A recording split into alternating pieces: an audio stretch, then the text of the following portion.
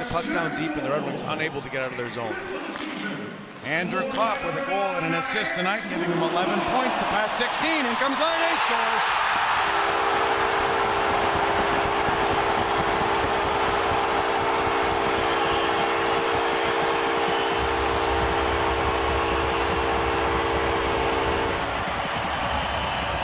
Well, this is went south here for the Wings. We've seen this a lot this year where a goal is given up and then we see multiple right after and they lose a draw right off the hop here. It comes back. Then you're going to see a stretch pass here to this side. Bang. Laine right in the middle. You see him with the big one-timer, the big shot. Well, you see his talent on display.